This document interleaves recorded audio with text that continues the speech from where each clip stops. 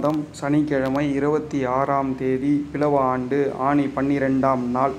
நல்ல நேரம் காலை ஏழு முப்பது மணி முதல் எட்டு பதினைந்து வரை மாலை நான்கு முப்பது மணி முதல் ஐந்து முப்பது மணி வரை.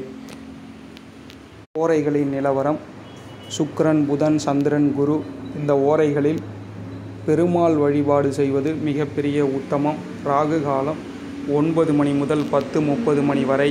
குளிகை ஆறு மணி முதல் ஏழு முப்பது மணி வரை யமகண்டம் ஒன்று முப்பது மணி முதல் மூன்று மணி வரை சூரிய உதயம் ஐந்து மணி ஐம்பத்தி ஐந்து நிமிடம் திதி இன்று இரவு ஒன்பது நான்கு வரை திவிதியை பின்பு திருதியை நட்சத்திரம் இன்று காலை ஆறு நாற்பத்தி ஒம்பது வரை பூராடம் பின்பு உத்திராடம் இன்று முழுவதும் சித்த யோகம் சந்திராஷ்டமம் மிருகசீரிஷம் திருவாதிரை நட்சத்திரக்காரர்களுக்கு சந்திராஷ்டமம் மிதுன ராசி என்பர்கள் அமைதியாக இருக்க வேண்டும்.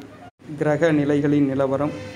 ரிஷபத்தில் ராகு புதன் மிதுனத்தில் சூரியன் கடகத்தில் செவ்வாய் சுக்ரன் விருச்சிகத்தில் கேது தனுசில் சந்திரன் மகரத்தில் சனி கும்பத்தில் குரு.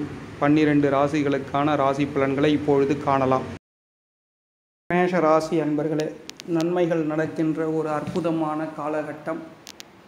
உடன் பிறந்தவர்களிடம் சூழ்நிலைக்கேற்றவாறு அனுசரித்து செல்ல வேண்டும். உத்தியோகம் தொடர்பான பணிகளில் பொறுப்புகள் அதிகரிக்கும். குடும்ப உறுப்பினர்களிடம் தேவையற்ற வாக்குவாதங்களை தவிருங்கள். மனதில் இருக்கும் ரகசியங்களை மற்றவரிடம் பகிர்வதை குறைத்து கொள்வது உங்களுக்கு நல்லது. மேஷராசி அன்பர்களுக்கு இப்பொழுது வேலை கிடைத்துவிடும். அதிர்ஷ்ட திசை தெற்கு எண் ஆறு. அஸ்வினி பரணி கிருத்திகை நட்சத்திரக்காரர்களுக்கு பொறுப்புகள் அதிகரிக்கும். வாதங்களை தவிர்த்து விடுங்கள் பெண் பிள்ளைகளாக இருந்தால் உடனடியாக திருமணம் இப்பொழுது நிச்சயிக்கப்பட்டுவிடும். ரிஷபராசி என்பர்களே மனதிற்கு மகிழ்ச்சி தரக்கூடிய செய்திகள் கிடைக்கும். புத்திரர்களின் வழியில் மகிழ்ச்சியான சூழ்நிலைகள் உண்டாகும். பொருளாதாரம் தொடர்பான நெருக்கடிகள் குறையும். புதுவிதமான ஆசைகளும் நுணுக்கமான விஷயங்களை அறிந்து கொள்வதற்கான தருணங்களும் உண்டாகும். கணவன் மனைவிக்கிடையே நெருக்கம் அதிகரிக்கின்ற ஒரு நாள். அதிர்ஷ்ட திசை மேற்கு எண் ஐந்து. கிருத்திகை ரோகிணி மிருகசிரிஷ நட்சத்திரக்காரர்களுக்கு மகிழ்ச்சியான நாள் நெருக்கடிகள் குறையும். மிதுன ராசி என்பர்களே மனதில் இருந்து வந்த கவலைகள் நீங்கி புத்துணர்ச்சியுடன் காணப்படுவீர்கள். செயல்பாடுகளில் துரிதம் மேம்படும். எதிர்பாராத பொருட்சேர்க்கை உண்டாகும். உடல் ஆரோக்கியம் தொடர்பான எண்ணல்கள் குறையும். உத்தியோகம் தொடர்பான பணிகளில் நிலுவையில் இருந்து வந்த பணிகளை செய்து முடிப்பீர்கள். நெருக்கமானவர்களிடம் இருந்து வந்த கருத்து வேறுபாடுகள் குறைகின்ற நாள். அதிர்ஷ்ட திசை கிழக்கு எண் ஒன்று. மிருகசிரிஷம் திருவாதிரை புனர்பூச நட்சத்திரக்காரர்களுக்கு புத்துணர்ச்சியான நாள். கடகராசி என்பர்களே திடீர் தனவரவுகளின் மூலம் சேமிப்புகள் அதிகரிக்கும். உயரதிகாரிகளின் மூலம் ஆதரவான சூழ்நிலைகள் உண்டாகும். கடன் சார்ந்த பிரச்சனைகள் குறையலாம். குழந்தைகளின் எதிர்காலம் தொடர்பான சிந்தனைகள் அதிகரிக்கும். கல்வி தொடர்பான வெளியூர் பயணங்களின் மீதான ஆர்வம் உண்டாகும். திறமைகளை வெளிப்படுத்துவதற்கான வாய்ப்புகள் சிலருக்கு சாதகமாக அமையும். அக்கம் பக்கம் இருப்பவர்கள் பற்றிய புரிதல் அதிகரிக்கும். அதிர்ஷ்ட திசை மேற்கு எண் ஐந்து. புனர்பூசம் பூசம் ஆயில்யம் நட்சத்திரக்காரர்களுக்கு ஆர்வம் மேம்படும். குறிப்பாக இந்த கடகராசி ஆயில்யம் நட்சத்திரத்தில் பிறந்தவர்கள் எல்லோரிடத்திலும் அன்பு பாராட்டுதல் வேண்டும். ராமர் வழிபாடு செய்வது மிகப்பெரிய உத்தமம்.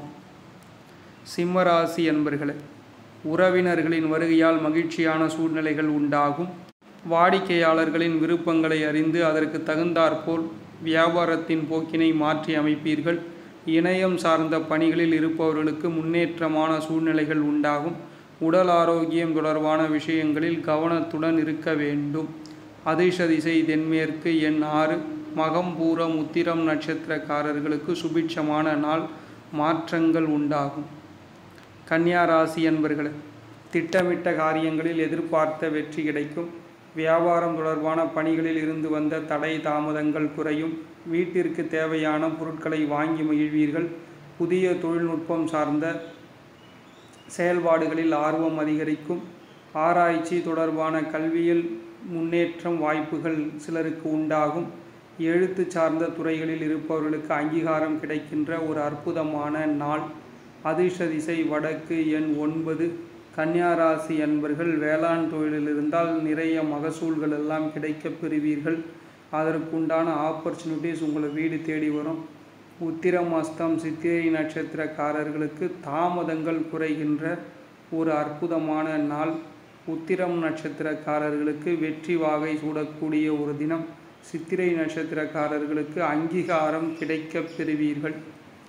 துலாம் ராசி என்பர்களே குடும்ப உறுப்பினர்களிடம் தேவையற்ற வாக்குவாதங்களை தவிருங்கள். காப்பீடு தொடர்பான பணிகளில் இருப்பவர்களுக்கு புதிய நபர்களின் அறிமுகம் கிடைக்கும். உயரதிகாரிகளிடம் பொறுமையுடன் சூழ்நிலையை கையாள்வது நல்லது. உலக வாழ்க்கை பற்றிய புதுவிதமான கண்ணோட்டங்களை மனதில் அதிகரிக்கும். அலைச்சல்களின் மூலம் உடல் சோர்வு அவ்வப்போது ஏற்பட்டு நீங்கக்கூடிய ஒரு நாள். அதிர்ஷ்ட திசை கிழக்கு எண் ஆறு. துலாம் ராசி என்பர்கள் இப்போ ஹெல்த் இஷ்யூஸ்லாம் ஏற்படும். இந்த ஹெல்த் இஷ்யூஸ் வராமல் இருக்கணும் அப்படின்னா இயற்கை முறை வைத்தியத்தை கையாளுங்கள். இயற்கை முறை வைத்தியம்னா என்ன சார் அப்படின்னு பார்த்தோம்னா ஒன்றுமே கிடையாது. இயற்கையாக இருக்கக்கூடிய சில தாவரங்கள். அதில் ஃபஸ்ட்டு தாவரம் எதுனா நாம் ஆண்டாளாக வணங்கக்கூடிய துளசி தான் அந்த துளசி இலையை தினமும் உட்கொள்ள உட்கொள்ள உங்களுக்கு ஒரு ஆன்டிபயாட்டிக் இயற்கையாகவே எதிர்ப்பு சக்தி உங்கள் உடம்புல உருவாகும். அந்த எதிர்ப்பு சக்தி உடம்புலே உருவாயிடுச்சுன்னா எப்பேற்பட்ட நோயையும் எதிர்க்கக்கூடிய தன்மை உங்கள் உடம்புக்கு வந்துவிடும். அதனால் நம்ம நீங்கள் எடுத்துக்கக்கூடியது நீங்கள் மட்டும் இல்லை எல்லாருமே எடுத்துக்கக்கூடிய ஒரு மூலிகை அப்படின்னா துளசி தான் தினமும் துளசியை நீரில் போட்டு அந்த நீரை அருந்துவது மிகப்பெரிய உடம்புக்கு ஒரு ஆன்டிபயாட்டிக் சொல்யூஷன் சித்திரை நட்சத்திரக்காரர்களுக்கு வாதங்களை தவிர்த்து விடுங்கள். சுவாதி நட்சத்திரக்காரர்களுக்கு நிறைய பேர்களின் அறிமுகம் கிடைக்கப் பெறுவீர்கள். விசாகம் நட்சத்திரக்காரர்களுக்கு சோர்வு என்பது இனிமேல் உங்களுக்கு ஏற்படாதவாறு வெற்றி வாகை சூடுவீர்கள். விருச்சிக ராசி என்பர்களே மனதில் பலதரப்பட்ட சிந்தனைகள் மூலம் குழப்பங்கள் ஏற்பட்டு நீங்கும். நண்பர்களின் அறிமுகம் மற்றும் ஆதரவு மனதிற்கு மகிழ்ச்சியை ஏற்படுத்தும். சுபகாரியம் தொடர்பான முயற்சிகளில் நற்செய்திகள் கிடைக்கப் பெறுவீர்கள். எதிர்பார்த்த சில உதவிகள் சாதகமாக அமையும். நீண்ட நாட்களாக தடையாக இருந்து வந்த சில செயல்களை செய்து முடிப்பீர்கள். பொருளாதார நெருக்கடிகள் தொடர்பான பிரச்சனைகள் உங்களுக்கு படிப்படியாக குறைகின்ற ஒரு அற்புதமான நாளாக தென்படுகிறது. அதிர்ஷ்ட திசை வடக்கு எண் ஒன்பது. விசாக மனுஷம் கேட்டை நட்சத்திரக்காரர்களுக்கு குழப்பங்கள் நீங்கும். அனுஷம் நட்சத்திரக்காரர்கள் நற்செய்திகள் கிடைக்கப் பெறுவீர்கள். இப்போ ஹெல்த் இஷ்யூஸ்லேருந்து மீண்டு வரக்கூடிய ஒரு காலகட்டம். கேட்டை நட்சத்திரக்காரர்களுக்கு பிரச்சனைகள் விலகும். குறிப்பாக அந்த கேட்டை நட்சத்திரக்காரர்கள் திருப்பதி சென்று வந்தால் உங்களுக்கு நன்மைகள் அதிக அளவில் நடக்கும் என்பதை நீங்கள் புரிந்து கொள்ளுங்கள். தனுசு ராசி என்பர்களே நன்மைகள் நடக்கின்ற ஒரு அற்புதமான காலகட்டம். எதிர்பாராத சில பயணங்களின் மூலம் அனுபவம் கிடைக்கும். நெருக்கமானவர்களின் மூலம் மகிழ்ச்சியான தருணங்கள் ஏற்படும். வர்த்தக வியாபாரத்தில் பொருள் வரவுகள் மேம்படும்.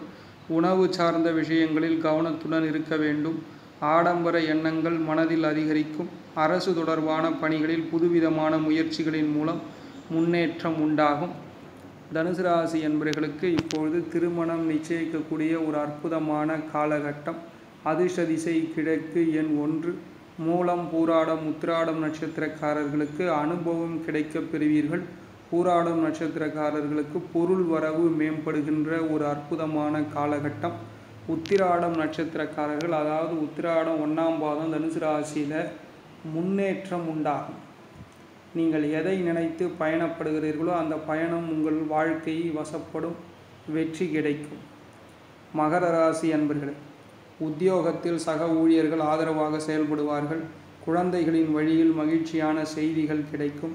உடல் ஆரோக்கியத்தில் முன்னேற்றம் உண்டாகும். கடன் சார்ந்த பிரச்சனைகள் குறையும். பூர்வீகத்தில் இருந்து வந்த கருத்து வேறுபாடுகள் நீங்கி சாதகமான முடிவுகள் கிடைக்கும். நுணுக்கமான விஷயங்களை அறிந்து கொள்வதன் மூலம் லாபம் மேம்படும்.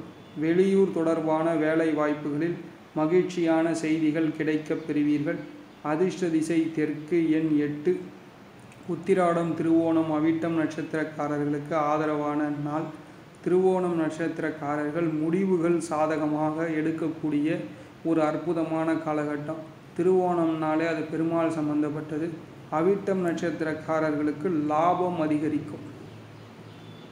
லாபமானது உங்களுடைய செல்வாக்கை உயர்த்தக்கூடிய ஒரு மிகப்பெரிய பங்காக அது பயன்படும்.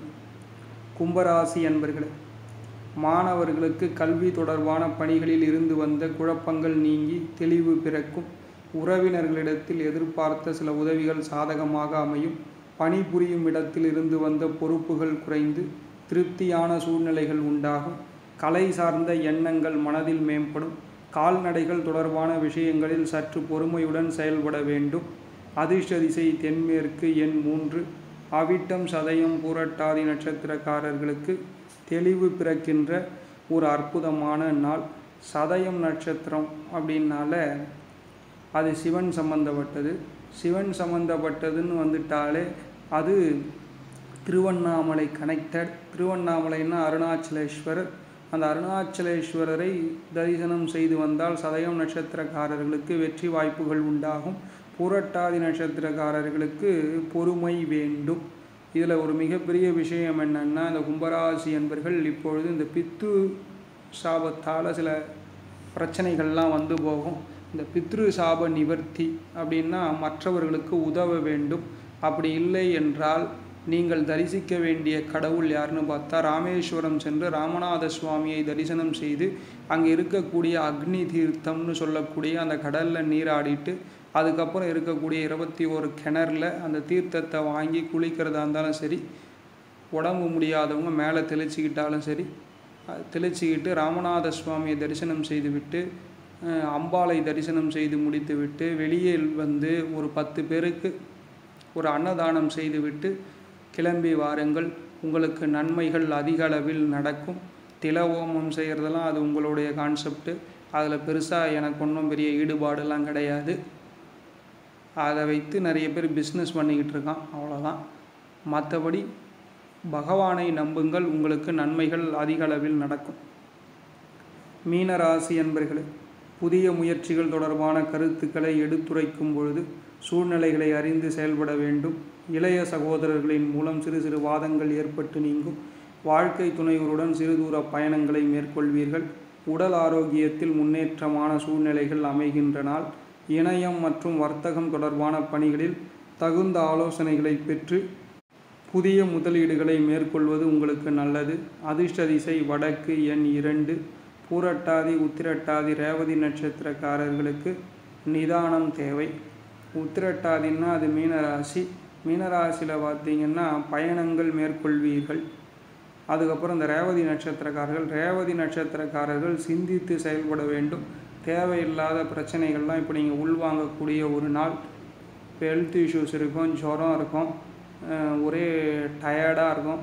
இதெல்லாம் வந்து இன்னும் ஒரு ஒன் வீக் உங்கள் உடம்புல இருக்கும். அதுக்கப்புறம் சரியாக போயிடும். வாழ்க வளமுடன்.